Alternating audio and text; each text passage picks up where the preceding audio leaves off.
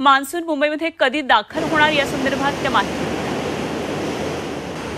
वाऱ्याची वाटचाल आहे ती देखील मंदावलेली आहे. मान्सून आहे हा तळ कोकणात दाखल झाला असला तरी वाऱ्यांमध्ये फारसा जोर नसल्यानं त्याची पुढची वाटचाल आहे ती मंदावलेली आहे.